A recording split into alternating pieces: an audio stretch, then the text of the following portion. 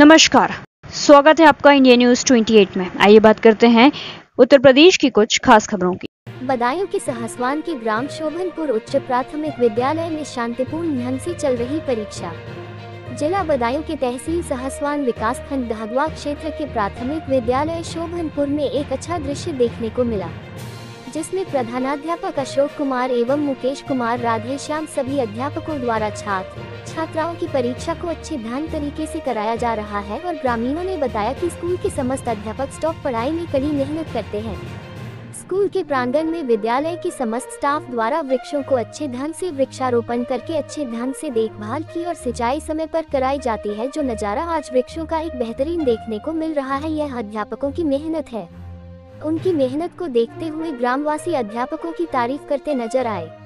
बदायूं से संवाददाता रत्नेश कुमार की रिपोर्ट।